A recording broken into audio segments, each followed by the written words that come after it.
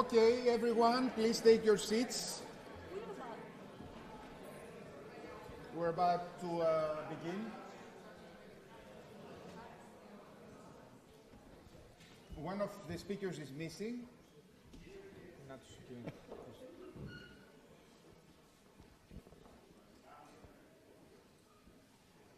We are uh, ready to move into our second panel, which is going to be focusing on society. But as you saw, the uh, boundaries between politics and society are extremely thin.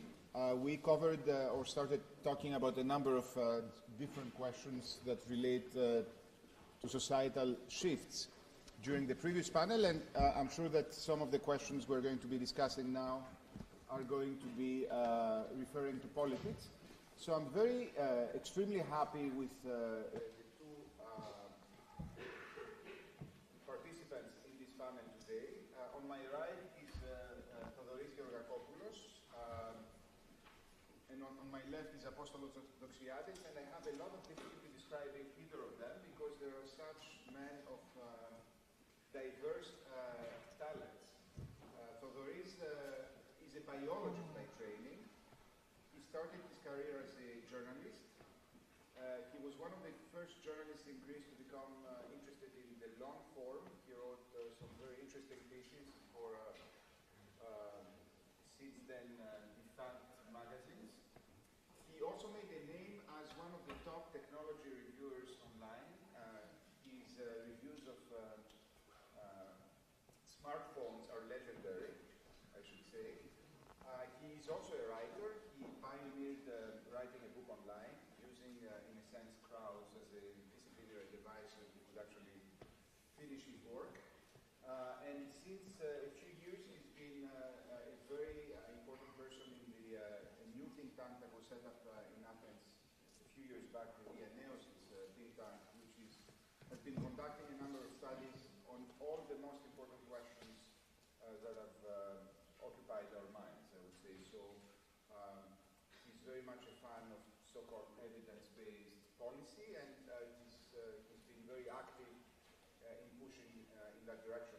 We had a very interesting conversation in the previous panel about reforms in Greece. For example, one of the projects he's working on is a book with, in which he's commissioning studies of the 10 most important reforms that have happened in Greece since its independence. So perhaps he can tell us more about that. On my left is uh, Apostolos Doxiadis, who also uh, needs no introduction. He is also a man of many talents, initially trained as a mathematician, so I have a lapsed mathematician and a lapsed biologist with me today. And, and that's what you study is not necessarily uh, what you're going to do in your life, and shouldn't, I would argue. Uh, he um, became, uh, he did a lot of things since, I'm not, I'm not going to summarize, but he's best known today as a writer. Uh, two of his books became international bestsellers. One was um, Uncle Peter uh, and the Goldbach Conjecture, and the second one was uh, a graphic novel in collaboration with some other writers and um, cartoonists, uh, which is uh, which became a, a, an international sensation, Logicomix. He, his last book was published only in Greek, and it's the story of his own experience as a revolutionary political activist during the Greek dictatorship. It's called uh, Amateur Revolutionary. Uh, and so uh, both of them have been involved as public intellectuals in a variety of uh, issues. And so I'd like to start uh, this discussion uh, with a question that was asked before in the previous panel about the paradigm shift. have the last 10 years, in your opinion, induced a paradigm shift in Greece or not? Let's start with uh, Theodoris. You don't, you cannot, you don't listen. We need your microphone. Just a microphone. This is not working. No. Oh, come on. Maybe out, out of batteries, maybe? So he has to do it again? Yeah. The whole thing? I don't mind. Yeah, the battery is. Uh,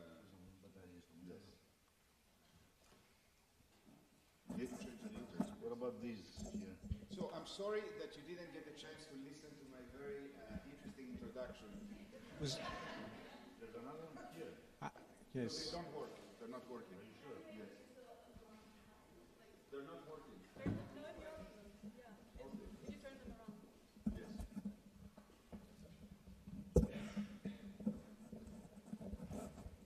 It was indeed a pity that you didn't get to hear his introduction because it was the best introduction I've ever heard in any of my speeches in the past uh, few years. Um, I will remember it forever, though. And if anyone wants him to repeat it, please ask him uh, in the, during the break. It was a complete uh, description of what I've done with my life so far. Now, on the issue of a paradigm shift, to, to start a serious discussion, uh, yes and no. Things in Greek society have been changing for a very long time, even before the crisis. Uh, one could argue that in some issues, uh, social issues, uh, our, our stance towards phenomena like uh, immigration crisis, maybe we have regressed a little during the crisis, but on other issues, maybe we have progressed. Now, I'm very unprepared for today's speech, but I have scribbled some notes. You're not supposed to give a speech. I, I'm not going to give a speech, but I, I scribbled some notes from the results of uh, this year's What Greeks Believe study. Now, this is a study that we publish at diaNEOsis, the think tank that Stathis has mentioned. Uh, almost every year, we try to track what Greeks believe on a series of issues from what they do with the European Union, uh, what uh, our position is on the immigration crisis and so forth. And we have some uh, trends from the 2015 that we started tracking all these things that uh, show us some, that some uh, perce- perceptions are changing. One example I'm going to give you is the issue of taxation and the welfare state. That's a basic issue that most European nations are facing. Should we have high taxes and a welfare state that works, or should we have lower taxes and with a welfare state that doesn't work or barely works? Now, in Greece, up until the apex of the crisis in 2015, uh, there was sort of a consensus. We don't mind high taxes as long as we have a strong welfare state that provides for uh, most people. And this, during the uh, dramatic years of 2015 and 2016, completely flipped. Since 2016, late 2016, the majority of Greeks, an increasing majority, believe that we should have lower taxes even at the expense of a welfare state. So that could count as sort of a paradigm shift. I don't know if that's a deep trend. Uh, there are data from our, like I mentioned later, that um, claim otherwise. But maybe we have started seeing some things in a more pragmatic fashion, more realistic uh, way. Uh, again, these things may, may only be skin deep. In the next crisis, maybe something changes again. If a few years of normality uh, follow, maybe we change back to what we think uh, we used to think. High taxes, the fact that people understand that taxes have an impact in their income, uh, have forced them to reevaluate their uh, connection to the welfare state and what the, the, uh, nation, the, the state provides. So we don't, we're not sure if these are uh, trends that will continue, but this sort of paradigm shift is noteworthy, even if it's skin deep. Thank you very much. I, I would add to that uh, one of the most interesting uh, changes that seems to have happened is the fact that uh, uh, at the level of attitudes, can you hear me or not?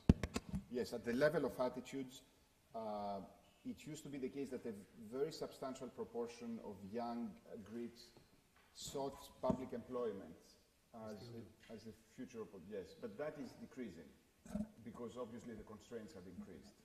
Here's the thing. It's not as clear cut as I made it seem. Uh, there used to be a trend, a downward trend on uh, de- the desire of young people, of Greeks in general, to, to work f- to, at the public sector during the crisis.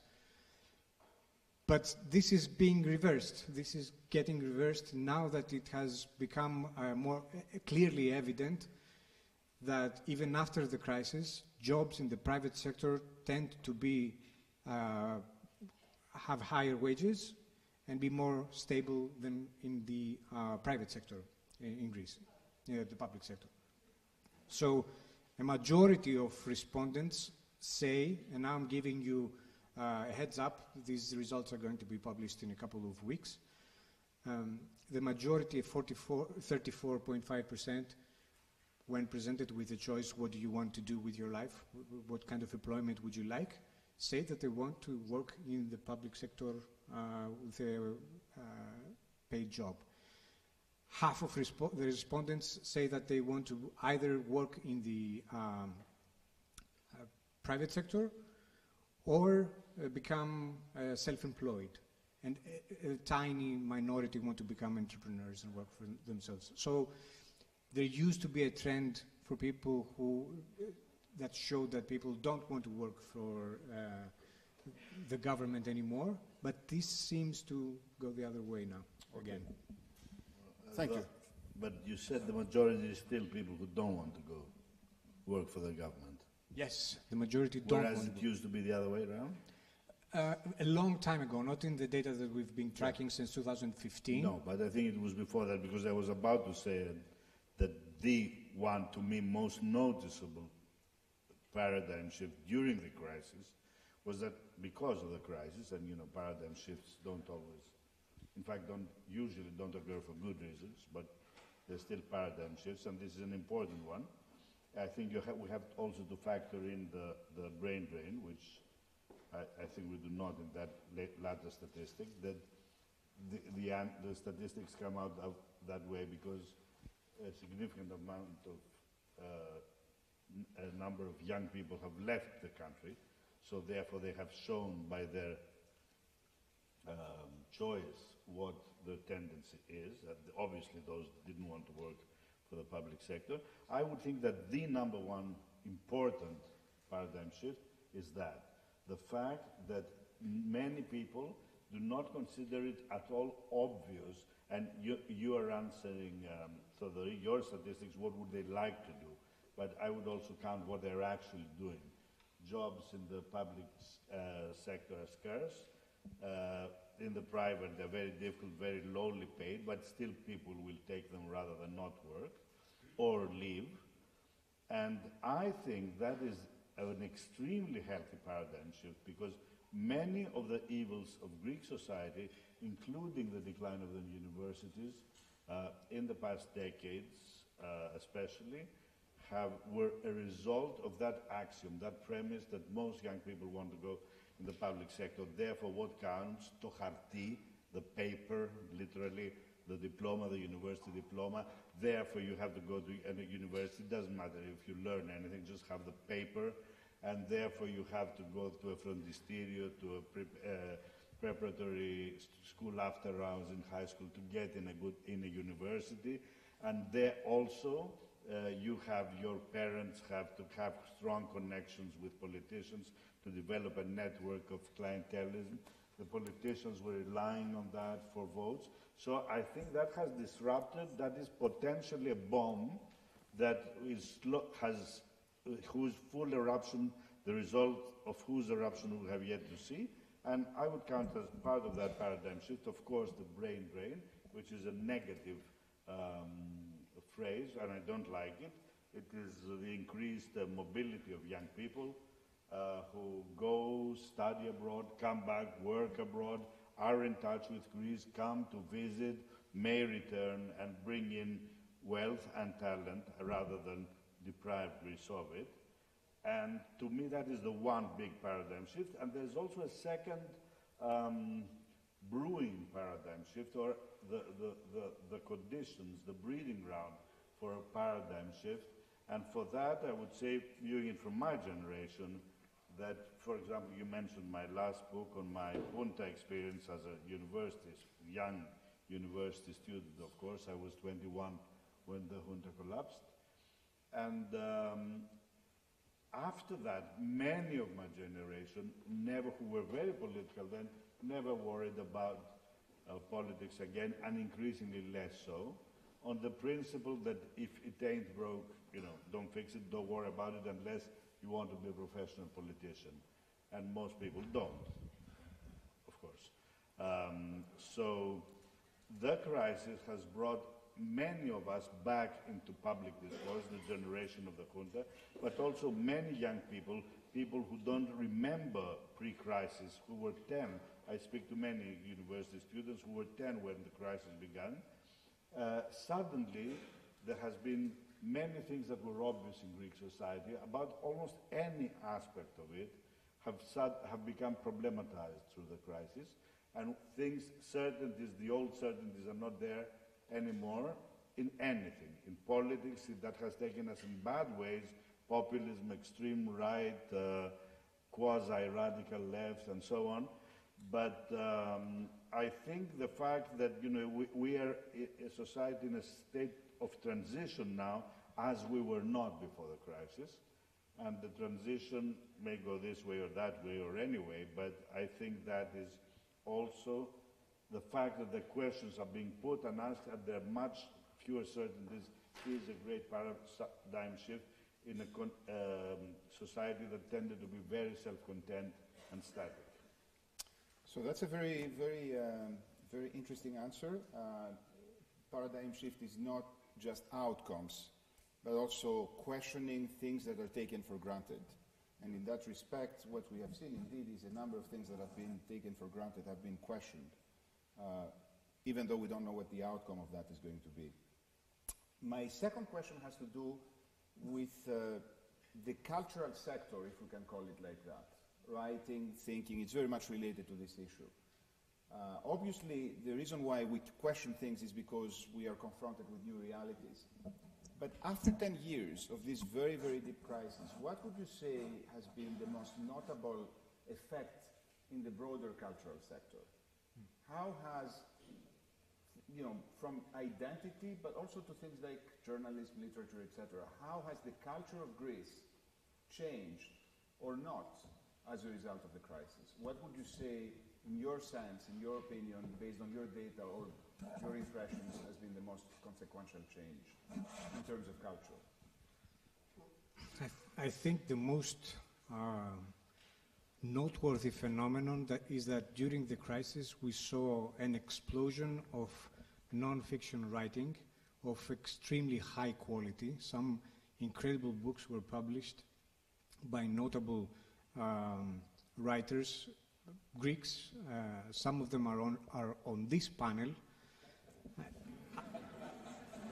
they described for the first time um, the real situation of life, the economy, our identity, uh, in a clear, easy to understand, and very accessible way for the first time in recent history. We've never before seen such a proliferation of uh, extremely high quality writing uh, in Greece. What about fiction writing? Uh, in fiction, there was a parallel phenomenon, I think. I'm, I'm not qualified to evaluate it uh, as others, uh, uh not as much as others, but um, I, I, think that there was a little, there's still a gap. We don't have great novels dealing with the crisis. One would expect that we, have, we would have more. Most successful novels of the past decade didn't have much to do with the crisis itself maybe in a, uh, in a direct way. But when it comes to non-fiction writing, what has happened was an explosion. Uh, right now, there are over 20 amazing books that someone can pick up and read and understand what has been going on in Greece in the past 200 years. Uh, not just the crisis, but everything that has led to the crisis and its aftermath. Uh, so I think that was the most important phenomenon. This may have had uh, an effect in public opinion. It's not easily registered in our findings, but at least the information is there. No one can claim ignorance because it's not just the 20 or 25 books, it's that the public intellectuals that have been speaking openly about these issues, more openly than before. I think that people who are older than me and can remember the level of public discourse in the 80s or, or the 90s can agree that the level of public uh, discourse in the 2010s was of much higher quality. We are now able to discuss issues that were, that were a given.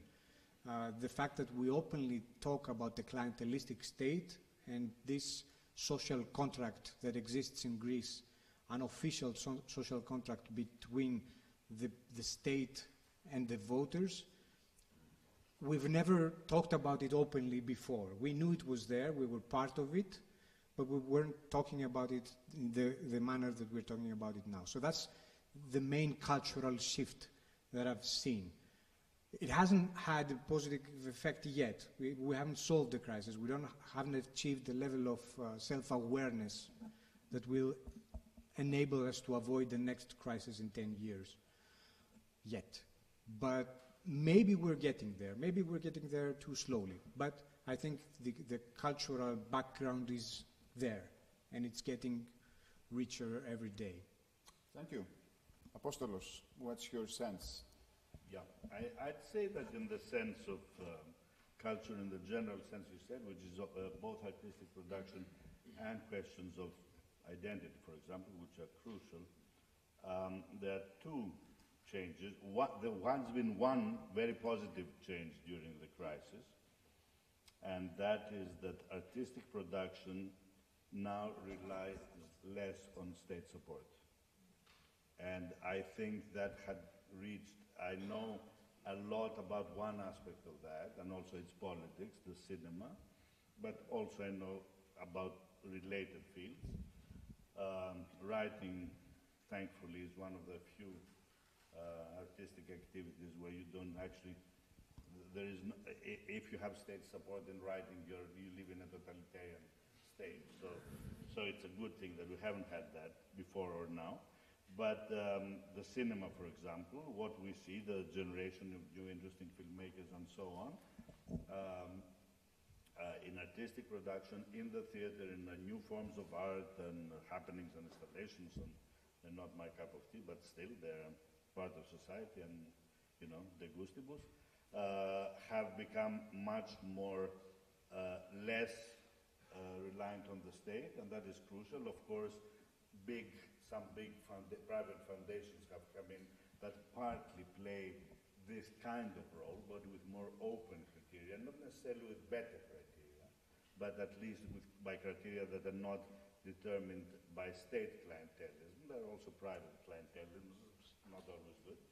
But also the idea, you know, and technology too, especially in the cinema, has given the opportunity to many young people to become much more expressive and also to people not consider it as a given, as the, in the bad old days of uh, the 80s and 90s, that if you see a film, it would have been produced by the state. That didn't mean necessarily censorship. It rarely did, in fact, but it did mean certain directions that were partly controlled by personalities and mentalities. That's the one thing. Now, the question of identity, which is huge, I think, is the great, uh, the great, uh, is the great victim of our cultural life um, throughout the history of the Greek state. Um, we are still a very old culture, but a very new state, well, relatively new state, younger than the United States of America, for example. Um, and um, from its beginning, there was always a rift, a very crucial rift, uh, at the roots of Greek society that had to do with identity. And it took various forms, but it was all, always really, it had two sides. It was always a form of bipolar, it was bipolar. And sometimes you could call it classics to modern.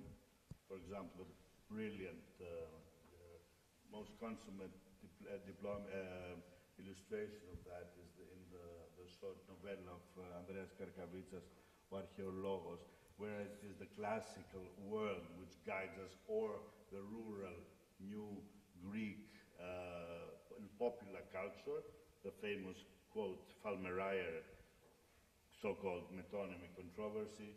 So we had that in, the, in language, demotic versus purist, and um, then it also became Greek versus autochthonous in the sense of culture versus Western, uh, also with the parties that were stressing, some were stressing autochthonous in the sense of derived purely straight from classical Athens, whereas others admitting a strong uh, influence from the Middle East, Turkey, the Ottoman rule, and so on.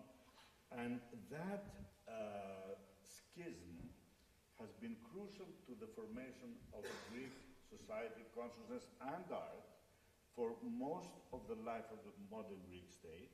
It has suffered very often by being politicized. One good example is the left taking over the, the, the, the, the, right, the privilege, the owning, sort of trying to own demotic language, and the right, the purist, and so on. That's one extreme case.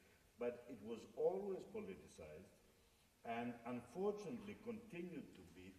The politicization of that took various forms. For example, in the, eight, uh, in the 80s, um, the, uh, under the PASOK government, the Greekness became very much, started to become again quite xenophobic, the evil foreigners, NATO, the Americans, and that continued, especially from its left-wing rhetoric. Then it be- became Europeanist versus um, uh, real Greeks, so to quote unquote. During the crisis, again, we had a lot of xenophobia. It's evil foreigners who uh, do it all, and the opposition to that was a new form of pure liberalism. Now, the only period, I think, uh, where that discourse about identity managed, and the only part of society where it managed to acquire a really synthetic, useful quality was to Greeks, this is well known, uh, the generation of the 30s, to non-Greeks, the, li- the literary, artistic uh, uh, generation that started to produce in the 1930s, but really created its masterpieces in the 50s and 60s. Uh, in the 50s and especially 60s, uh, I would mention the works of, uh, early works of Manos Hadjidakis, Mikis Theodorakis, the poetry of uh, Engonopoulos, Elytis and Seferis in this period, and Empirikos, the performances of ancient Greek drama, especially of the National Theatre and the Art Theatre of Karolos Koun, as prime examples of constructive, creative synthesis that voice, that voice of moderation which we so much needed, was distorted gradually in the politicization of the junta and especially in the 80s with PASOK. And now, when this question is so important, you know, for anyone, I, I consider myself politically, if I have to brand myself by Greek standards, a liberal, liberal center, but the average people I talk to the liberal center, you know, just wants us to be Europeans, and that's fine. I, I too I'm a fanatic Europeanist. I mean, even a federalist, I would say, one of the most extremist stances of. Uh, So you're an extreme centrist. I'm, uh, yeah, I'm not a radical centrist. No, if you ask me, better a federal Europe, I'd say yes. But, but I think that that my, uh, my part of Greek politics, which uh, represents moderation in many terms, does not really have a role for our Greekness. It says, what Greekness? We are Europeans. That's what we want to be. So I think that is the great absent in today's discussion. Uh, new uh, discussion that is profound, deep, non-fanatical about our Greekness, and the huge danger there is that the, the, the question of identity and Greekness has been hijacked because also the immigration uh, Okay. situation by the far right. So that brings us to one of the most important challenges that uh, is going to face Greece uh, in, the la- in, in the next few years. And this is the combination of what is very often described as a so-called demographic crisis. That is, the birth rate in Greece has been declining uh, quite dramatically. It's, it's a question that uh, the, diaNEOsis has studied and, uh, and you know quite well, Theodore. And on, on the other side, the question of migration and how migration uh, challenges established practices in Greece, how it may be exploited by fringe groups. Uh, what is your view on the combination of those questions? Well, the population of a country is influenced by only um, three things. How many people are born uh, as a, opposed to how many people die. This um, uh, this shows how many people are coming into the population, how, many people leave, and also immigration. How many immigrants come into the country, how many immigrants leave, m- migrants leave. Or how many natives live? Yes, become migrants. Um, so, Greece, since 2011, has seen its population declining for the first time since data became available in 1935. Uh, this has, has been, this phenomenon is the result of a combination of other phenomena. Uh, we used to have a relatively high birth rate back in the 30s, uh, but Greek society had never experienced a baby boom. So usually the uh, rise of the Greek pop- population was uh, the result of something else, like the rise of the um, life expectancy, uh, the age, expe- how uh, many years people were expected to, to live, which would rise exponentially throughout the years. People live longer, so there's more of us left. But the birth rate has been very low since the 80s. It has been below 1.5 children per uh, woman since the 80s, and that's a very low threshold. No country in the world has ever been able to go, come back above that threshold once it has fallen below it. Uh, cu- the current birth rate is 1.36 children per woman, uh, here in, 0.35 uh, here in Greece, one of the lowest in the world. Uh, but there are some things that people need to think about when it comes to birth rates. Uh, the rate that ensures that the population remains stable, if all everything else remains stable as well, is 2.1 children per woman, 2.07 to be exact. No European nations managed to arrive at that uh, birth rate. They're all below. Below it. And as countries from, from around the world become wealthier, their birth rates drop down as well. Uh, we have, for many years in Greece, we have been haunted by the specter of Turkey and its enormous birth rates and the fact that they, their population is growing so fast. Um, the birth rate in Turkey right now is 2.1, and it's going to drop. Yes, and it's going to drop below that in the upcoming years. It's an issue that has to do with the, um, the wealth of a nation and the wealth with the wealth of households. When Somali women leave, their country, live in Somalia, they have an average of 6.4 children. When the same women emigrate somewhere else in a wealthy nation, they give birth to 2.4 children on average. So it's not a cultural issue. It's not something else. It doesn't have anything to do with uh, what parents think of the ideal uh, size of a family or anything like that. Have you examined the, uh, the birth rate of Mormons in the United States? It's, there have been several communities that, that have had very high birth rates. One of them, if you see it as a very closed group that lives with very particular uh, sets of values, maybe you have outliers. But if you look at Ireland, for example, uh, where they had enormous families of 10 children, 12 children, it was common up until very recently. Uh, they had birth rates that were uh, enormous, over four children, five children uh, per, per family. Now the birth rate is below 1.8. Things change, values change. When a society shifts from viewing children as assets to viewing them as financial liabilities, it doesn't matter whether they're Christian or anything else. If, they, if you want your children to, suddenly all of your children to go to the university, you can't have four of them. You can't afford to have four of them. So this is a given. This is not solved. Greece will never have a birth rate of 2.5.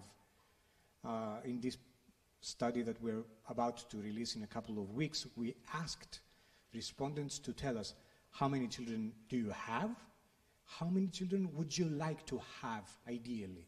And the children that they have is on average 1.36, almost the same as the birth rate. And the average children that each household would like to have is 2.8. So there are, there's one way to solve this. Follow the example, emulate what Sweden and France are doing. They have birth rates that are around 1.8, 1.9, and they are very wealthy. Women in Sweden have children at their 30s, like Greek women do, very late in life, in life uh, compared to what the demographers would like to see. But they have acceptable birth rates. What they're doing is that they acknowledge the new shape and form of families and they try to design policies that support the new way that families uh, in our world exist. The fact that both parents work, that fathers have to participate, that there should be preschool education facilities infrastructure available to everyone, and that uh, all the obstacles that couples face when they want to uh, have as many children that uh, don't allow them to have as many children as they want, these obstacles need to be removed. Uh, so that's one thing, the birth rate. By the way, Greeks acknowledge that this is the demographic issue is the number one issue in the country right now. But the vast majority of Greeks don't believe that immigration plays or should play a part in that equation. We are very conservative when it comes to immigration. All our studies in the past five years show that uh, Greeks don't like, don't want immigrants. They don't like immigrants in their society. We think that they are, um, they have a neg negative impact in crime, also in our economic development. Farmers think that. F Greek farmers think that immigrants have a negative effect on their economic well-being, which I don't know if you probably know that uh, there are no Greeks working the fields in Greece. Only immigrants uh, do. Uh, so we're very conservative on that issue. We suffer from a series of delusions that are common in Europe. They're not unique. Um, we wish that immigrants would flee, leave. Uh, even now, in the, when our, the problem that we're facing is at least 10 times smaller than the problem we faced during the 90s when 900,000 people came illegally into the country and were uh, eventually assimilated and became a part of our society. Um, almost 600,000 of them still remain in the country are, are and live there legally. Uh, but these delusions persist. They're very difficult to, get rid of, and the fringes of the political system take advantage of these insecurities that are of course, sourced in deeper issues that have to do with identity, trust in our institutions, the way that the Greek state safeguards the borders and provides safety, the feeling of safety to, uh, to the population. All this plays a part in this phenomenon that we are very hostile to the immigration phenomenon in general. And that's very dangerous for many reasons. Immigrants, by the way, don't solve the demographic issue. They temporarily solve workers shortage. Uh, when immigrants from Albania came into our country in the 90s, their demographic makeup immediately became the Greek demographic makeup. They also have 1.3 children each. So we contaminated them. Completely, and not just in a demographic sense. Their answers in surveys are indistinguishable from, answer, from, from the natives' answers. They have become uh, an integrated part of our society, completely integrated. There are many, there's small differences in their experience with the police, for example. For some reason, they trust the police less. Wonder why. But these are very specific and easily explainable differences. Um, the majority of them have been integrated perfectly. And we will slowly see that as the second uh, generation gives birth to the third generation, the same things that happen in the United States when the fourth generation of Mexican immigrants don't identify as Mexican immigrants, but they identify as fully American. We'll see that happening in Greece as well. And it's a process. It's going to take a while uh, to, to, see that, to have an experience with that. Maybe at that point, uh, our stance towards the immigration is, issue may change. For the time being, we're pretty much where Hungary is, where Poland is, where countries without an immigration problem, but with very strong anti-immigration opinions are. So what do we do about that? How do we address Apostolos has been uh, involved in, uh, in some ways uh, quite directly, especially uh, he took an initiative to try to uh, spearhead um, a policy about the protection uh, of unaccompanied immigrant children. what do we do about all these problems? How is Greece going to face that? On the one hand, demographic decline, on the other hand, uh, immigrations coming through or staying in Greece, and then a very negative attitude among the majority. I, th I think, like Theodoris, that they ought to be really. The microphone, please. Yeah. Patented microphone. Uh, I think, like Theodoris, that um, the two are not exactly the same. I understand the long-term view, but. Uh, feel that there is no ideal, I, you know, I don't have strong feelings for an ideal benchmark of population rise, and I'm not a fanatic of, you know, let's be more of us, you know. Um, those are changes anyway that can be really observed in the long term, so perhaps I'm naive saying that, or just a man of my times. Also, having three children myself, I think I can adopt the high moral ground here and say, you guys do your bit.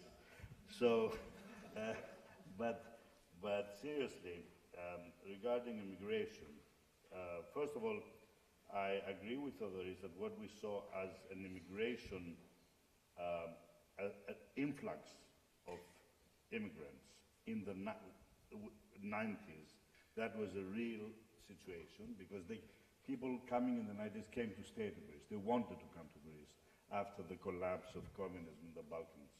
And two-thirds of, uh, uh, is that the figure? Yeah, two-thirds of them have stayed, are still in Greece, or maybe some have had children too. And that is more or less now a Greek population, and as you said, regarding birth rate, we contaminated them. On the contrary, I think that what we are seeing now, which is a huge problem, and uh, for Greece and not of Greece only, but also other forces. We are really between two forces which we cannot control here. The, the, the, uh, uh, of course, there's an original source of the creation of poor, destitute people who are in search of a better future because of the wars in the Middle East. But we have uh, the Turkish um, president or tyrant, Erdogan, who wants to use the question of immigration as a weapon against Greece, but Europe mainly, but also Greece, and to control that. And we have a European Europe and European Union that is not living up to its role and has grossly, uh, I think, here abandoned Greece in the way that it should, and we can go into my views on that if you want. But I think there is a huge difference because, I will tell you also about the minors, but because I have known quite a lot about the immigration problem and the uh, or issue situation, and it is a problem. Um, I have talked to many people, many activists, many people in the field. To all of them, I ask the same question. Of the people coming into Greece now, come from the east or south, how many want to come here because they want to stay in Greece? And the answer is always none. None. Out of a hundred, zero. And as a young American activist friend of mine with no Greek and a very characteristic American accent, um, when he uses any Greek word or name, said to me, look, Apostolos, uh, No one left the hills of Kandahar or escaped the Taliban or a forced marriage, a young girl at age 12 because they were dreaming of Trekla. So it was not Trikala, it was a small a rural town in Greece. Uh, it's Europe.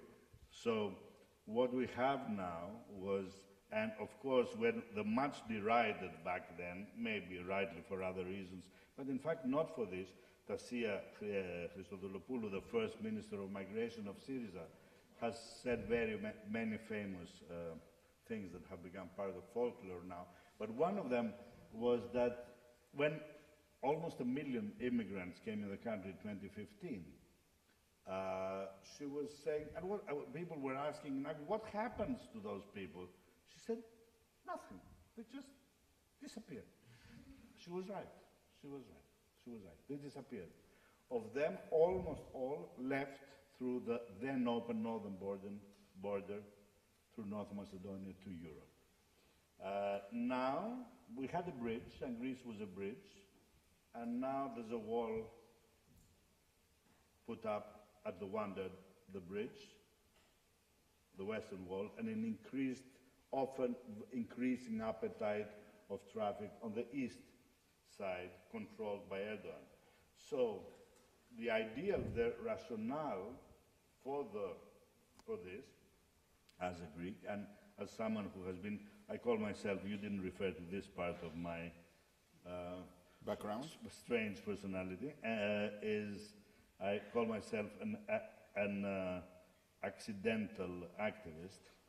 I have become involved in some causes of activism in the past few years just because I felt that some cases had to be looked into and no one else was looking into them.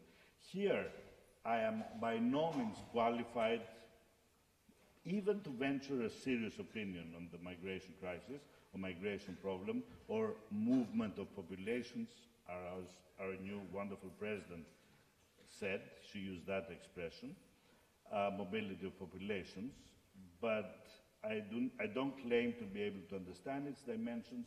I don't claim to be able to preach to anyone about how it, it should be solved. It is huge and has factors that we really don't control and are stronger and as involved in it. But I said, I you know, realized that the one aspect of it is an aspect that no right-thinking country and no human and humane country can ignore, and that is the aspect of unaccompanied minors.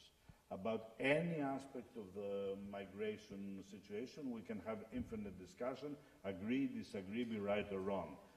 But there will no be no argument against the fact that uh, children who are in Greece either because they were sent alone or because they became orphaned on, in the, on the way or because they were orphans to start with, um, unaccompanied in Greece without any significant others are adults must be taken care of by the state.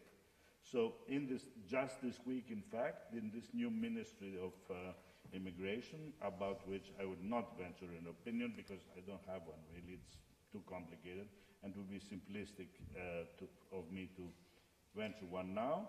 There is a new secretariat formed this week called Secretariat of Unaccompanied Minors under Irini Agapidaki, an extremely capable, extremely empathetic and motivated young, to me, woman who has really seen this as a mission. And I think the idea, because of the small number, we have at most 5,000 unaccompanied minors in Greece, and no matter how the flow of migration might increase, that increases only marginally.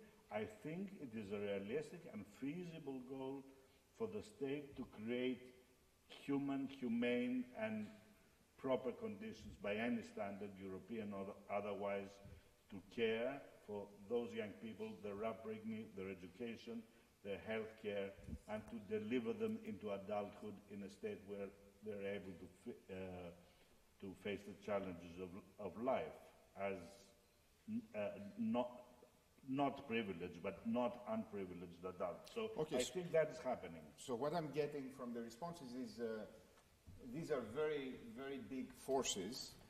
Uh, they're very difficult to model and to extrapolate from the present. Uh, and we also tend to, to see them in a sort of uh, uh very negative way. right? Uh, they're impossible to solve, quote unquote. I'd like to just add, uh, for the sake of uh, further discussion or thinking, perhaps one other dimension which I think is worth discussing about uh, my, uh, my hunch, which is based on no evidence whatsoever, but only on, on, on a hunch, it's an intuition, is that uh, one of the areas uh, in which we're likely to see quite a lot of change in Greece in the future is immigration from developed countries. And the reason I say that is because Greece, for all its problems, and you know, um, barring unexpected disasters, not thinking about climate change and things of that sort, but Greece, for all its problems, offer an environment of life which is extremely attractive. It is much more attractive than what, for example, Florida in the United States offered traditionally, which was sun, or Arizona, which was a desert. Florida was a swamp, actually.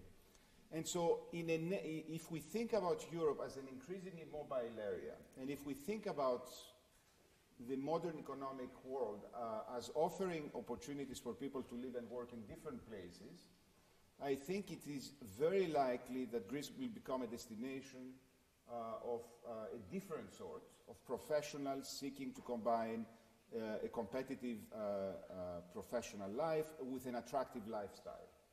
I, I think it's difficult not to imagine such a future, given the quality of life that Greece opens, uh, offers. And it's not just a matter of the sun uh, and the sea, it's also a matter of the human environment that Greece offers, which is uh, something that we should think about, which I think is very positive in many respects. Um, can I put a negative twist to that, or, do you want it to leave it at a? No, no, you can of course put a negative yeah, I always like to put negative twists to things.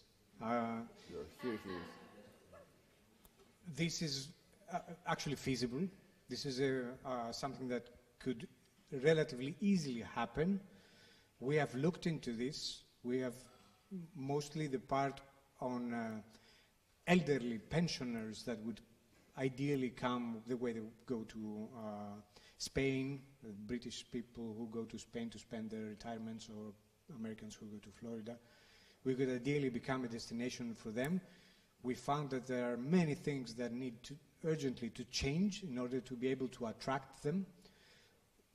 We should have to make our cities more accessible. We should have to make our hospitals, mostly the regional hospitals, uh, away from Athens, um, better able to cater to the specific needs of this type of population. We would have to make them better able to address the needs of the elderly.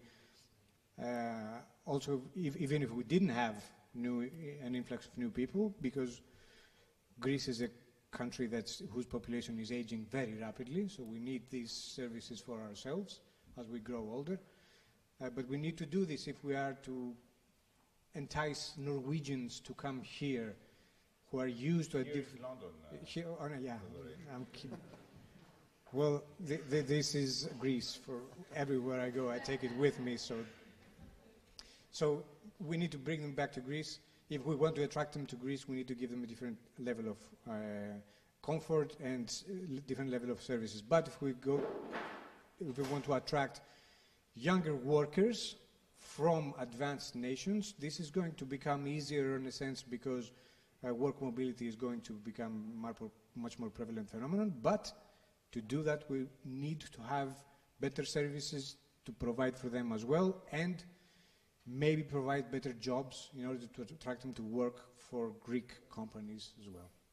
If I may add a positive twist to your negative twist, I would say that in my view, uh, this is going to be uh, less of a trickle and more of a wave.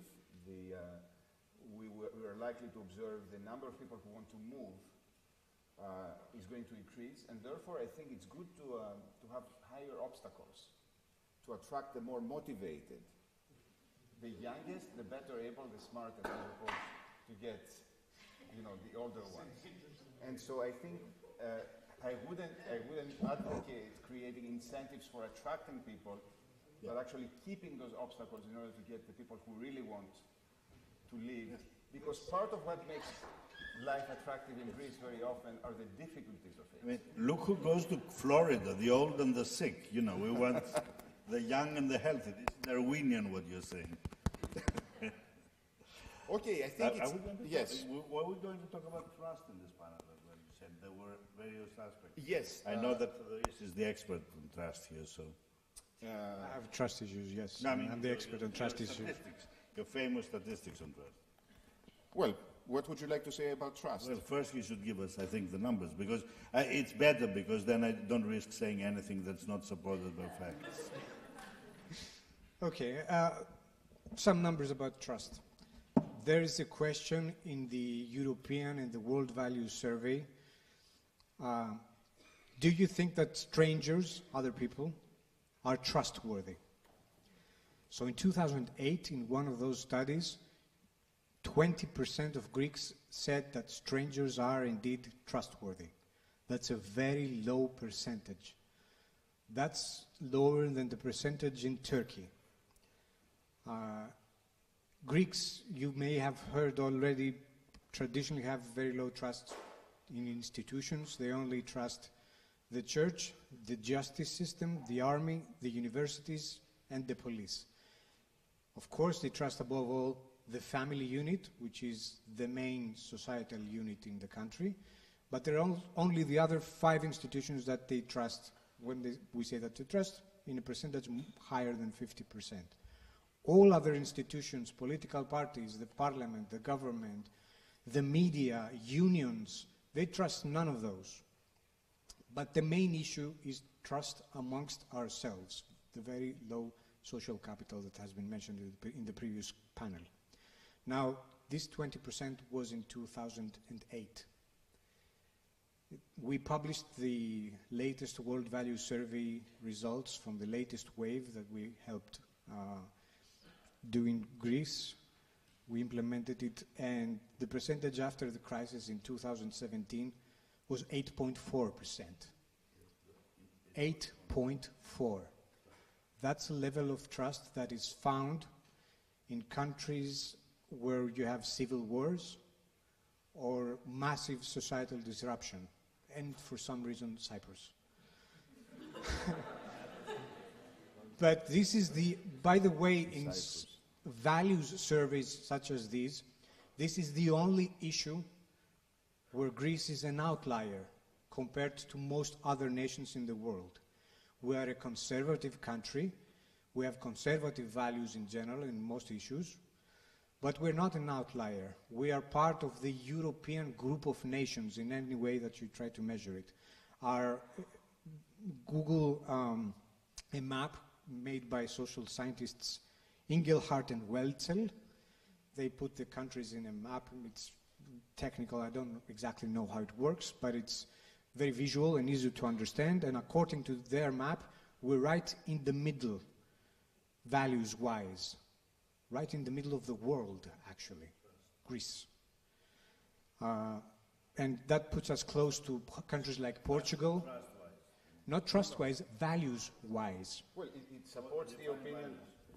It's a bit, well, it's, it's a cocktail of different values, and then you, you know, you derive, you do a factor Yeah, analysis, and that gets you. They put a map, conservatives versus It- it secular countries. It is scientific proof that Greece is the center of the world. Exactly.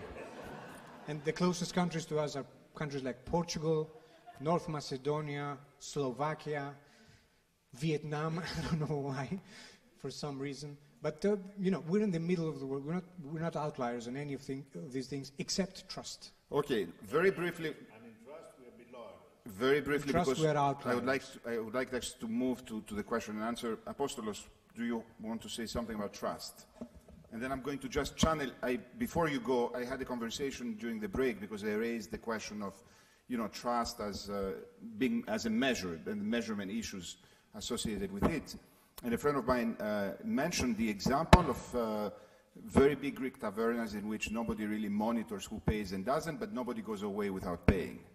So in actual practice, I would mention another example which always strikes me, which is uh, compared to countries like um, the UK or the United States.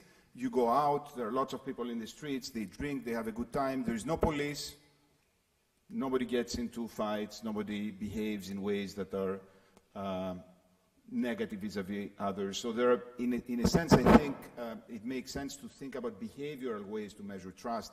There is uh, an Italian sociologist at NYU, Dario Baldassarri, who uses experiments uh, that have a sort of real-life content. For example, if you drop uh, uh, some money on the floor, how many people pick it up and give it to the authorities or a piece of identity? Things of that sort are going to get us, uh, I think, to better measure trust. On top of it, trust is a multidimensional concept. It doesn't just have one dimension. Uh, my hunch, again, is that um, those numbers, the responses to questions by enumerators about whether you trust others, do not, you know, capture what is actually going on. I have that suspicion. Yeah. yeah, also, I'd like to say I'm a skeptic on the trust issue, not in that sense. I mean, as a value... You are mistrustful of those uh, measures? No, I'm mistrustful of those. No, not of the statistics, I think. I mean, they have the methodology, it can be judged. But um, uh, I think it's a healthy characteristic for a people not to have a very, very high degree of trust because life does not uh, justify that. It's not a good survival tactic. So I think it's more of a reflection of the rigidity of institutions, where the, the I'm sure in North Korea the the trust to the state is 100%, uh, or at least that's what they would answer. And uh, so I think it has to do with the rigidity of the institutions. Of course, what we say always is we want more rigid, we want more stable institutions, but those are also go and have to be correlated to national character, and there is such a thing. I mean, not speaking genetics or racism or anything here, observably there is. And I think you see uh, the high degrees of trust in countries where they have a strong, people have a strong inner policeman, a strong uh, superego, the, the Freudians would say. And, and also I think there's a, a lot of hypocrisy involved in people who sort of to societies of high trust. I don't believe a lot of that. The other day, I'll finish with this, I was talking to a very, very capable and very distinguished uh, British professional about a very sensitive matter. It was not health or money, it was something else. And um, he was very annoyed with me. He says, I suspect you don't fully trust me. I, I had known him for three or four hours. I said, Of course I don't fully trust you. He said, You see, you see, you see. I said, Do you fully trust me? He said, Of course. I said, Would you give me all your savings to keep for one year without a receipt? He said, Of course not. So I said, You don't fully trust me, so let's take it from there and see what trust means. You know, it's, it's, it's been over, uh, overestimated. Trust okay, so we've covered uh, a large set of topics.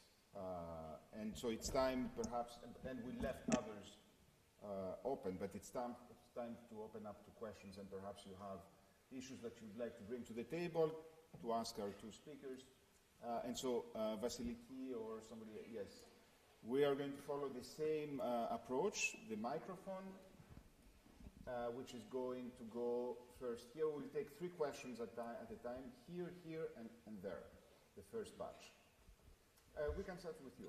Okay, well, thank you very much for this presentation. Um, the question I had for the pre previous panel, which I'm bringing in this one, has to do with, with local authority. In the last seven years, um, cities in Greece have shown, have shown us that they've been paradigms of, let's say, positive behavior. We collected in the municipality of Athens thousands, literally thousands of initiatives of informal groups, grassroots groups, um, that helped very often to, um, to, to, create solutions for the city, whether it be for integrating refugees locally, uh, to, for ch children's schools, for uh, picking up garbage, um, small scale, small scale, but thousands of them. Um, that, uh, it seems that it doesn't come very often in the conversation, neither in the previous panel nor in this one, the importance of local authorities and how one could see a paradigm shift in, um, in, the, in the way that local authorities tried to you know, get over the crisis during those years.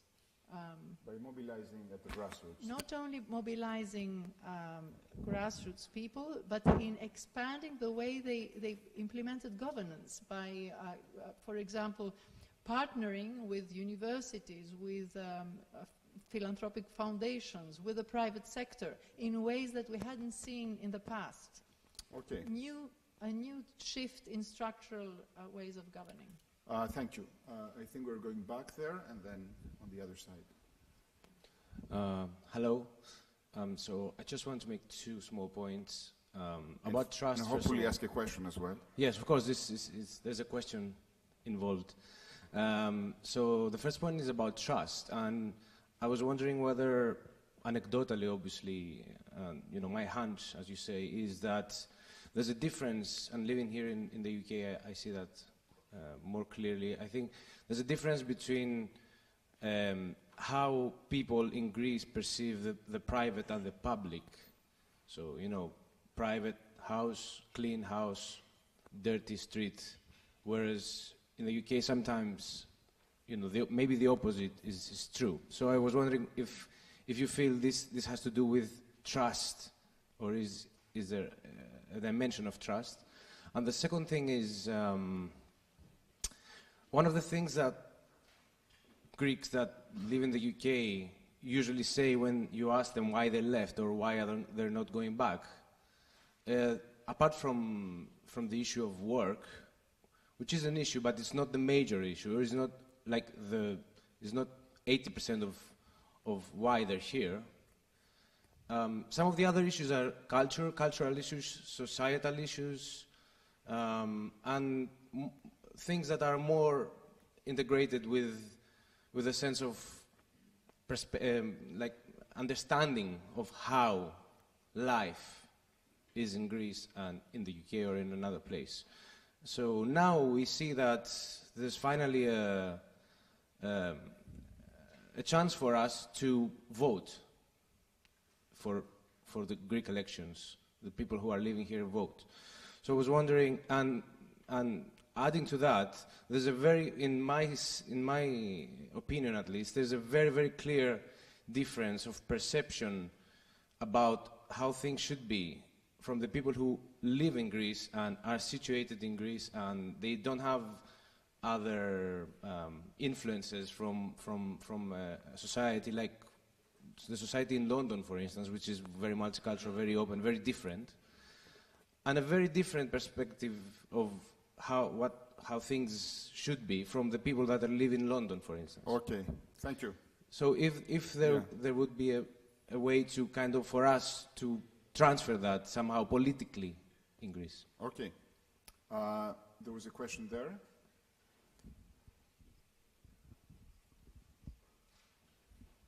Hi, um, and thank you for speaking today. Um, I just wanted to discuss something um, in the framework of climate change because it seems like Greece is especially vulnerable to the effects of climate change, and so it, it's a little bit odd to me that it hasn't come up already. But I'd like to um, particularly discuss this idea that was kind of at the beginning of your discussion about the demographic issue in the framework of climate change um, considering that the single greatest impact that we can have as individuals on limiting, you know, carbon emissions is not to stop flying or to go vegan. It's to have less children, have fewer children, right? So, um, in in that context, That's why, very, why- that's very convenient, I should say, because it makes all Greece extreme environmentalists. Sure.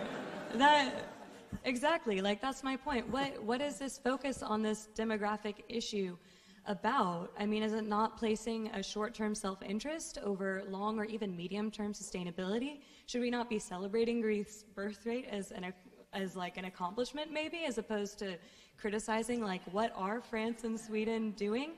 I mean, this, this idea that we need to meet a rate of replacement is given all the time, but what is the underlying assumption that makes that beneficial? Why is that a goal, especially in this context? I'm very tempted to say here that uh, we can think of even more effective ways to tackle the problem, which is for collective suicide, for example, would be certainly having a faster effect. But you, you know, you raise a very important question in terms of uh, everything that we're discussing today, in a sense, assumes that things are going to move slowly and gradually.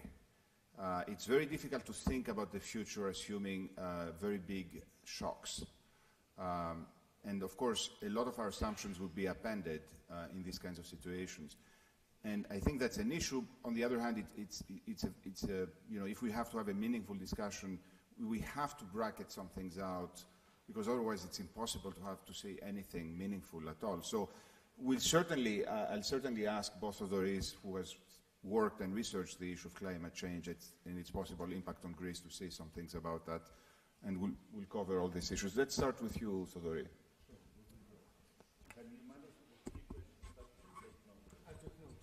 Yes, so, so uh, first question was about local administration in cities.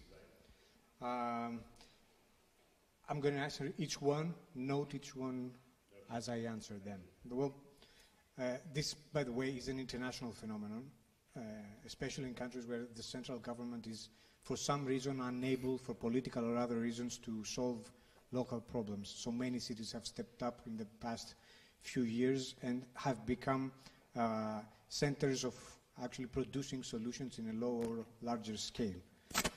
Uh, now, there are several obstacles for Greek cities, as you very well know. Greek cities mostly don't control their own finances. The power of Greek mayors is diminished. Most of the uh, responsibilities uh, on many main uh, issues come from the general government, the central government. Or higher of local yeah, government. like... Uh, so, for example, there was a very big issue with a mismanaged park in Athens, Pediou Areos, which, whose responsibility lied with uh, the regional government. Yes, not the city itself. Uh, so there, there are those issues, but then cities do have some leeway to do things, uh, even in issues that are, uh, affect the general population. For example, preschool education. Many people don't know that this is the job of cities to take care of. And it's one of the main problems that also influence the demographic issue. Greek parents of young children don't, don't have anything to do with them. They have to uh, stay away from the workforce for a very long time because we don't have the infrastructure to support and provide preschool education. That's the job of the cities. There are many chances to do that. There are many great examples in, in Greece. Maybe we should ampli amplify these uh, good practices and these positive examples more and show what is possible. But again, not enough is possible. And there is a series of recommendations we will be publishing in the, few, uh, in the next few months uh, on giving more power to cities to control their own finances through a series of new instruments. So, first, being able to solve problems more effectively, and second, to create a new generation of prospective leaders because Greek mayors, if they don't have enough political power, they don't get experience on how to run things. If we could have 332 prospective leaders who can balance a budget and influence things and um, implement policies, maybe that would be great for our, our political future. On the issue of trust, you raised the issue of social capital, which is one of the ways to measure trust, actually. Social capital can itself be measured in, a, for example, blood donations. Greece ranks among the last in the European Union in blood donations. Uh, we have to import blood from Switzerland to support our health system. Uh, and one very important example is the one that you mentioned, public spaces we treat our uh, own house very well, but in our own building, common spaces are filthy, nobody cares for them, people can't agree what to do with them. That's the manifestation of the trust problem. Uh, maybe you don't measure it very well uh, with surveys like these, but I think that this uh, phenomenon shows that there is a problem there, that people don't work with each other as parts of a society. You are also asked something about the diaspora and how uh, your expertise, if I get this well, can be used in some way. Uh, and the, question, the answer is I, I don't know. Well, you, you can run for mayor. You can run for things. You can come back. You can publish things, influence things. Uh, you can now vote. Uh, but mostly you can build a career, build a life, get expertise, get amazing skills, and once the things, maybe when you're grown a little older and you get homesick, and when things in, back in Greece are better, you can come back with your skills and your expertise and help. Um, which is actually why the brain drain phenomenon is not an entirely negative phenomenon for the country. And when it comes to climate change, by the way, Greeks acknowledge climate change as the number one challenge for Greece uh, uh, and for the world. And 90% of Greeks, 92% actually, acknowledge that climate change has adverse effects on their lives now or will have in the immediate future. But there is no conne- connection of the uh, climate change challenges and the demographic situation. There is no connection there uh, mentally at all. As I mentioned, the prevailing uh, institution in Greece and the cultural and societal hub that we have, the only functioning one, is family. Greece is a very family centric, traditional society. Family ranks above everything else everyone assumes that people need to have children. When we asked people how many children they have, about a third of them said that they have no children. Only 3% said that they don't want to have any children. I mean, that's a survey. Uh, around 20% of women actually will not have children in the current uh, reproductive generation. Uh, but there's no connection in that mentally uh, in our society at all when we look at the, the, the, demographic issue and we approach it negatively, what, we, what the technocrats have in mind is the issue of economic growth. We're not just diminishing in, in size, but we're also growing older. In 2000, by 2050, one in three Greeks is going to be over the age of 65. Someone is going to have to work to pay taxes in order for these people to have access to quality health uh, services and get a pension, maybe. Uh, there will not be enough people to work in 2050. And this is not something that's going to happen unless we do something else. This is going to happen. We know this. Demographic trends take place over decades, and it's pretty we know right now how many women are in a reproductive age and what is possible. It's impossible to solve this by the mid of the century. So we won't have enough workers. That's a given. We could solve this by bringing in more immigrants to work. They will not create large families or, solve the, the issue of a low birth rate, but this is a given. Will be there will be fewer of us. Our um, impact, environmental impact, is going to be lower, but many of us are going to be old how are they going to live? Who's going to, there's going to be like a fifth of us are, are, going to be over the age of 80. That's the main problem. That's in the back of our minds. Uh, but the environmental issues, th that's something that is going to enter the conversation, I think, but not yet. And it's not going to come into the conversation in Greece first, because the family unit is so important in Greek society. Apostolos? It was about uh, different behaviors uh, by Greeks abroad and in Greece and how Greeks of the diaspora can affect.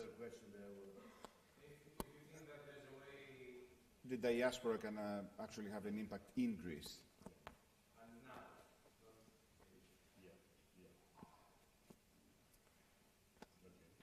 Any thoughts? Yes, some. A few thoughts.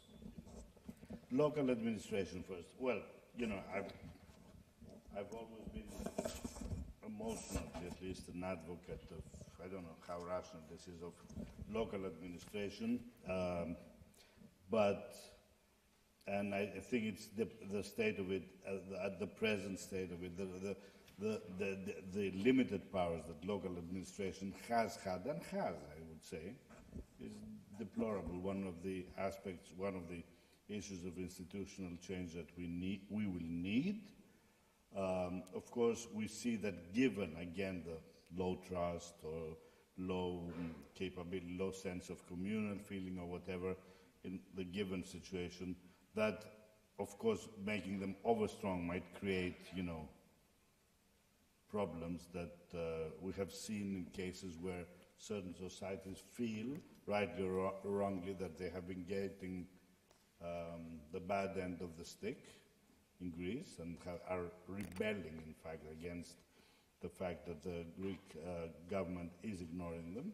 I speak of the islands of the Eastern Aegean, or you remember the issues with um, Chalkidiki and the mines, or the uh, the famous what was the area in Athens where they wanted to put the garbage disposal Keratea. Keratea, and the local society revolted. I mean, those are, of course, you know, one can understand anybody's right, but I think we do need to go in that direction. On the other hand, I think that the issue that was there in your question, in the first question, which is even more important to me than that, and it is something that we all forgot to mention or should have mentioned that you did, is that during the crisis, civil society, uh, both in its formal sense of NGOs and small or small unofficial organizations, and its informal side of people speaking out more from public intellectuals to activists has risen dramatically.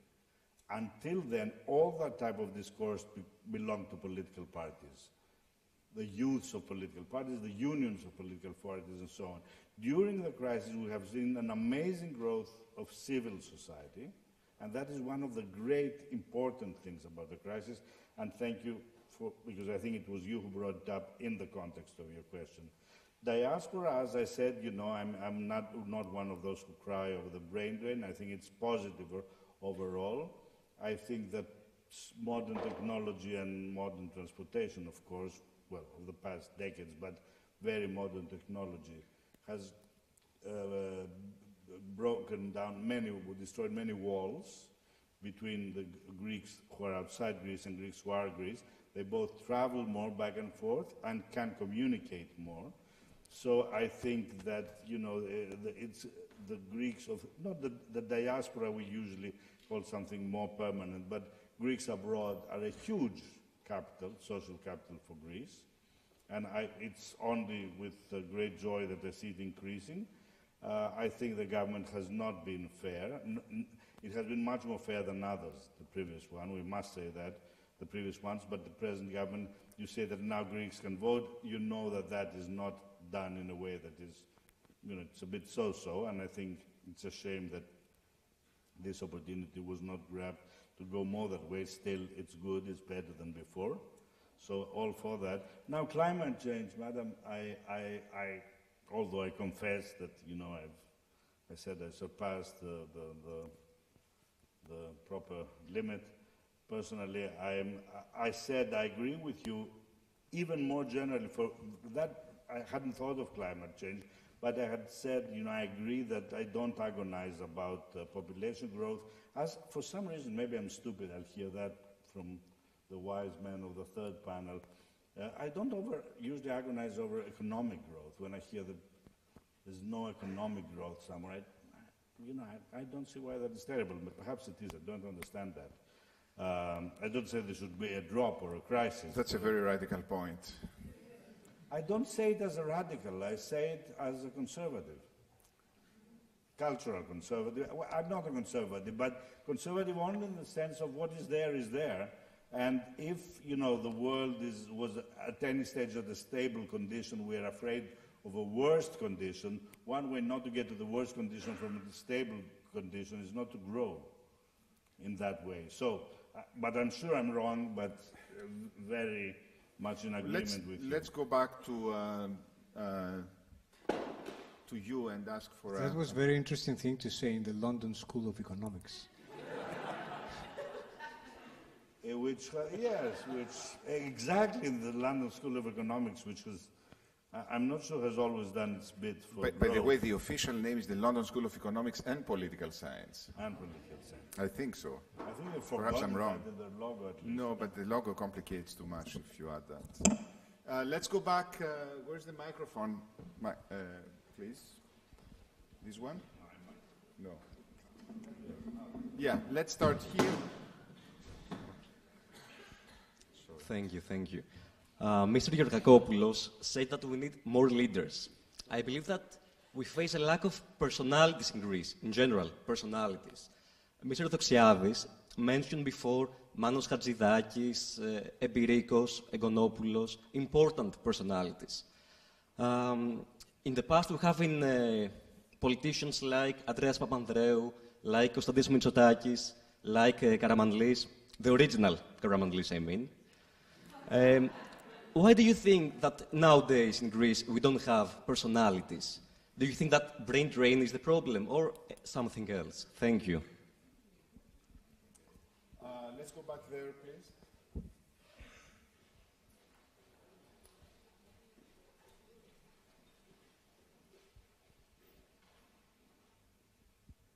Hi, thank you for the discussion. Uh, I'd like to push a bit more on the climate change question because if there is something like a paradigm shift here, probably it's this shift of the discussion to these questions of the climate emergency.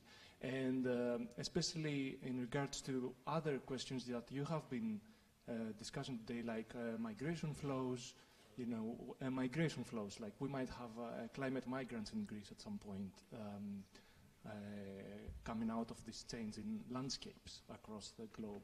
Um, so the, there, there are many other ways in which the climate change question might also be related to the questions about the political vision we have for the country, for example, that was discussed in the previous panel. So I just wanted to push a little more on the, uh, this question uh, in other related issues that are not necessarily about demographics. Thank you. Uh, third question here in front.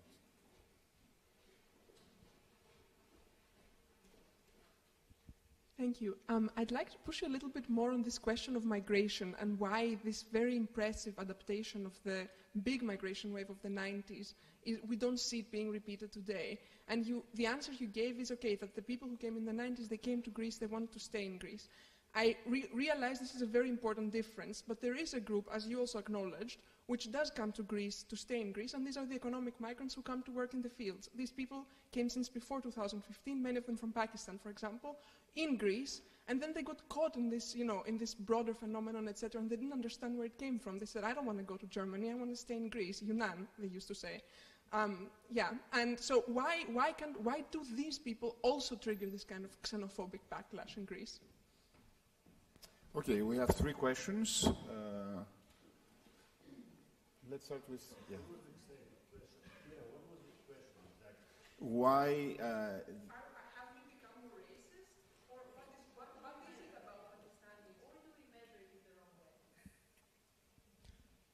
Okay, first, uh, there is no lack of personalities in Greece. We have 10 million personalities. Each one of us is a unique personality that's um, uh, unique globally.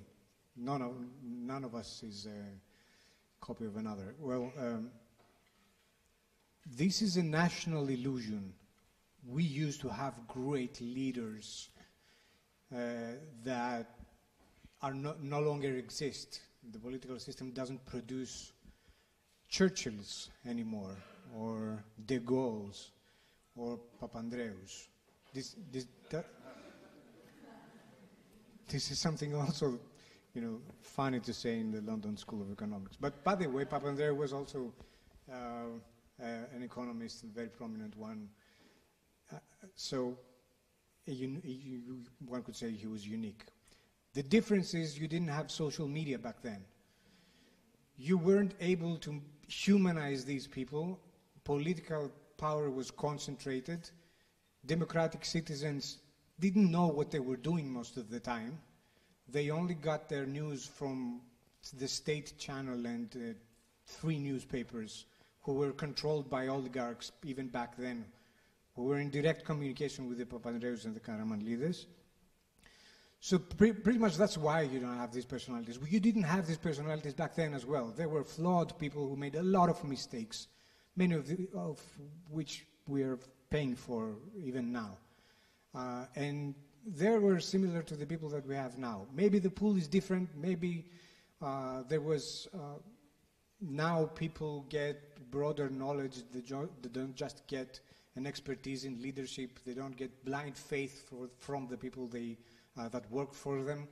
Uh, maybe there's a series of other issues that, that are different now, but I think the main thing is that we are more democratic now. Our societies are more open. We are freer to, to judge and to question leadership.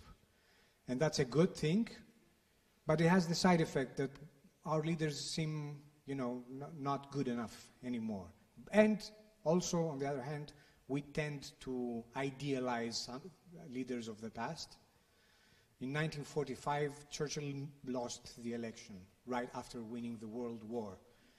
Uh, but he, now he is the one who's remembered for, uh, nobody remembers the name of Clement Attlee. And also, uh, vice versa as well. For uh, many people in Turkey, Erdogan is considered a very big and strong leader, but in, it's, he, the reality of his policies is going to actually cost Turkey very much in the future as well. So that again points to this disjunction. And also leaders like Putin, who actually use this new form of uh, information dissemination in order to, be leaders, to build a leadership cult and preserve uh, his leadership. On the issue of climate change and other issues, as it connects to other issues, yes, it does connect to migration. We're going to see uh, immigration as a phenomenon to persist in the future. It's not go- going to end. Our research shows that the Greeks have realized that this is a reality, and they, are, they know that migration waves are going to continue to come and mostly pass through here. Uh, they don't know what we should do about this, but we, we have acknowledged that this is going to keep happening. So um, we're not prepared as a nation and as a continent on uh, the scale of the phenomenon. Uh, by the mid of the century, some of the um, Middle Eastern countries are going to be impossible to live in. So a lot of people are not going to be able to continue to live there and to work there. Uh, so they're going to have to emigrate elsewhere. The exact shape of this phenomenon is not known yet, but we're certainly not prepared because we have been unable to deal with the influx of 70 to 80,000 people right now. Uh, which brings me to your question. There is no immigration crisis. There's no immigration crisis. The- in Greece. Um, well, in the European Union, 3.5% of the population was born elsewhere. 3.5%. That is very low. It's insignificant. If the entire Syrian population that remains in Syria were to emigrate into Europe tomorrow, the dent in the general population, we're talking about a huge place, would be insignificant. There is no crisis. It's not, it's not particularly dramatic, but it has been used as a tool. The phenomenon has been used by, as a tool by the far right and the political fringes to create an imaginary crisis to build up uh, political. uh, One of the most interesting findings, by the way, uh, in the study of uh, immigration is that um, individuals consistently overestimate the number of immigrants around them. They make consistently a mistake that goes in a single direction. Uh, and another very interesting finding of a meta-study of studies of immigration is that there seems to be no relation between uh, the economic cost that immigration has on particular people's paychecks and their attitudes on immigration. These negative attitudes are not driven by economic considerations. And there are other studies that explain this phenomenon as well. Xenophobia is, you know, we say that they're racists, that they don't want foreigners, they're uh, terrible people, but there, this fear is related to many other attributes in a person's life. So it's not accurate to actually uh, condemn all these, all these people as blanket ra- racists and that's it. The- But the- again, the very big correlation between uh, negative attitudes to, correlate to, to immigration uh, is pessimism. pessimism as a generalized outlook corresponds and correlates with a lot of very bad things, which I think it pays to be more optimistic. And by the way, it,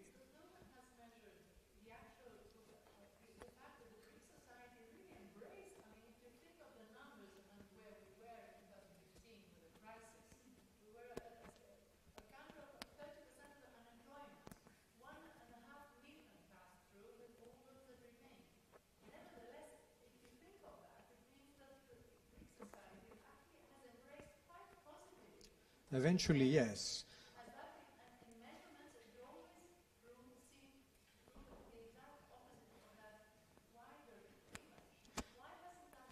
The perceptions and the, um, the persistence of xenophobia was evident even in, during the 90s when the immigrants from the north came into the country and they were eventually integrated, but xenophobia was there as well. I'll give you a very interesting piece of research and then we can move on, but uh, I'll give you an answer to that, which is uh, I was. Uh, no, I internally examined a dissertation in Oxford, which is precisely about this, which is based on very high quality data. And the finding is that prejudice against immigrants does not predict negative behavior against immigrants. The people who were prejudiced in the expression of opinions actually helped. So there is a disconnect between attitudes and behavior that we very often forget because we have a tendency to assume that attitudes always predict behavior. And these attitudes were persistent throughout Greek history. In the 1920s, we had an influx of 1.3 refugees from Asia Minor. There was xenophobic sentiments back then as well, when the Greek population was 5 million and we had 1.3 come into the country. Everyone hated them. And we had the same in, during the 90s, and we have the same in a much, much smaller scale now, with the essential difference that these people don't want to stay. Okay, let's move to you. you want to say very briefly this time? Very briefly, very briefly. So that we. okay, I mean, after what, you know, what you both said, very little to add, really. Thank you very much. But, but still, one point on the first question, personalities. Do I agree with almost, with not almost everything that Thodoris has said? Um, and I think you know that we do. First of all, we do tend to mythologize the past always. You know, the grass is not always greener on the other side. It was always it was greener 30 years or 40 years ago. Um, and uh, I'm not sure we have anyone like. Uh, or Hatzidakis or uh, Elytis or Seferis or Theodorakis today, maybe we don't. But, uh, you know, that may change. The, anyway, creative generations, if you look at the history of literature, of art, come and go, and sometimes there are peaks and sometimes there aren't. Um, Russia, for some obscure reason, had three or great, three or four of the greatest novelists or um, writers in history in within a span of 20 years, not before, not after. So, but especially the one point I would add is for politicians especially, something that has changed, apart from everything else which Thodoris said, which is correct, media perceptions and so on, is that the three persons you mentioned, um, of whom I do not have my opinions, you know, I have a different opinion of each one of the three and would uh, have a different opinion on how great each one of them is, but which I will not share with you, uh, is that all three of them were very independent-minded people and very educated people. And recently, the average the level of the average elected elected politician has been dropping for one reason, that they are, they are groomed to be politicians from the system of Greek political party youths in universities. They've grown up in a party environment, in a partisan party environment. Most of their um, things that they know come from their political environment. They're not independently cultured, educated, have not lived. I remind you that Alexis Tsipras was the first prime minister ever of Greece who had not lived for a significant part of his life abroad and practically spoke no, no, no foreign language. He learned some English during his stint. But uh, I don't blame him for that. I'm not a snob for that. But, you know, it's a fact that they, the three people you mentioned were much more cosmos, cosmopolitan and much more educated. And there is a reason why we don't get that more. And I hope that one of the paradigm shifts that we desperately need is people who come into politics who don't come out of what we call in Greece the party, the party test tube. Okay, on uh, those thoughts, I think we covered a tremendous amount of uh, areas. Um, the next panel, which is going to convene in one hour from now, after the lunch break we take now, is going to be a bit more narrow, uh, but also uh, very interesting, focusing on economics with uh, three very, very good um, presenters. So let's take a break, and we are going to reconvene uh, at 2.30 sharp. Thank you very much.